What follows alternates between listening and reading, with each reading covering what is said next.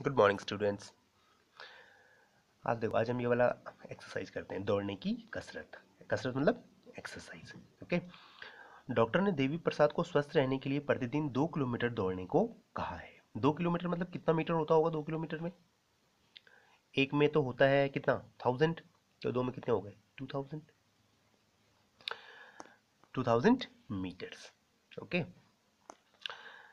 उसने इस खेत का एक चक्कर लगाया हुआ है कितने किलोमीटर दौड़ा? देखो, डॉक्टर ने देवी प्रसाद को स्वस्थ रहने के लिए दो किलोमीटर दौड़ने को कहा था।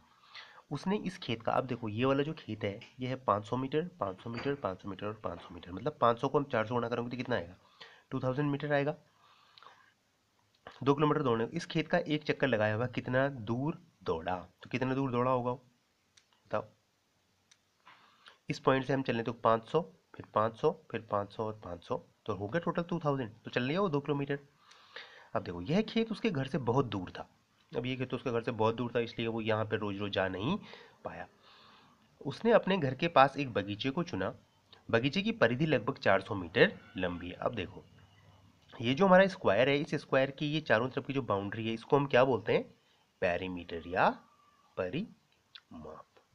ठीक है? इंग्लिश में अगर हम बोलें तो इसको पैरीमीटर बोलते हैं। ठीक है?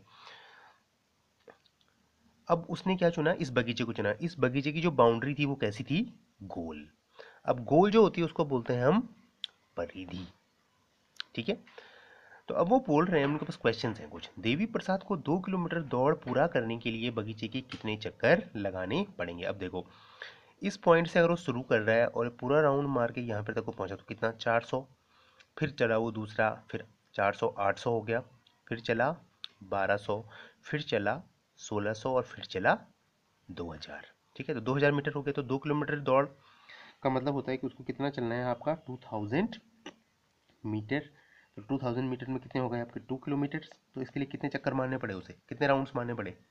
अभी हमने किया 400 हंड्रेड इंटू फाइव तो कितने राउंड्स मारने पड़े उसे टोटल फाइव राउंड्स ठीक है? अब एक दिन बहुत अच्छा मौसम था और ठंडी हवा बह रही थी। उसको इतना अच्छा लगा कि वह तब तक दौड़ता रहा जब तक वो आठ चक्कर लगाने के बाद थक नहीं गया। उस दिन वह डैश किलोमीटर और डैश मीटर दौड़ा। अब देखो, पाँच राउंड्स में वो चला कितना? टू थाउज़ेंड फाइव को हमने फोर हंड्रेड से मल्टीप्लाई किया। अब वो आठ राउंड मारेगा तो आठ को चार सौ से गुना करेंगे तो कितना आएगा? एट फोर ज़ा थर्टी टू तो कितना चला कितना दौड़ा होगा वो? Thirty two hundred metres okay अब इसको हमने किलोमीटर में बदलना है। देखो थर्टी टू हंड्रेड को हम अगर हम एक्सपेंडेड फॉर्म में लिखते हैं तो ऐसे लिख सकते हैं इसको three thousand plus two hundred अब देखो थ्री थाउज़ेंड में कितने किलोमीटर हो गए? थ्री और टू हंड्रेड में point two three point two kilometre. कितना दौड़ना पड़ा उसे three point two kilometre. Okay समझ में आया?